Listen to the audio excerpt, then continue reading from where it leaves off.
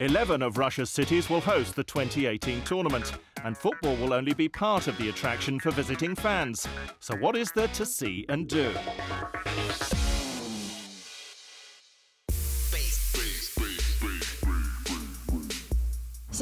Hello, my name is Polina Chernyakova. I'm from Samara. I'm part of the dance team, Black President, who are standing behind me.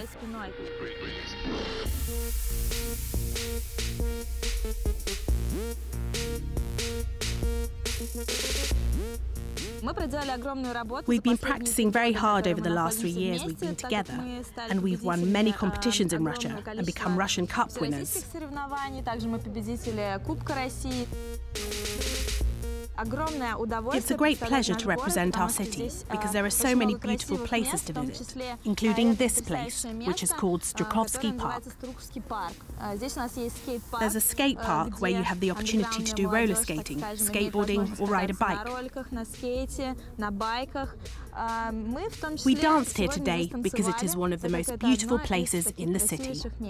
I recommend that if you visit Samara, to definitely check out Strukovsky Park.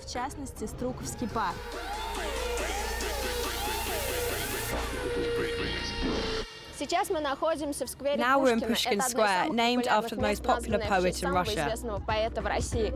From here you can enjoy the view of the river Volga. Go to the drama theatre and the opera and ballet theatre, which is situated in Europe's biggest square. And this is Kuybyshev Square, which is the largest square in Europe. And during the World Cup in 2018, there will be a fan zone here for all the fans to enjoy.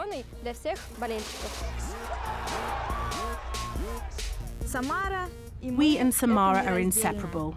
We love dancing, our spectators, and we love our city.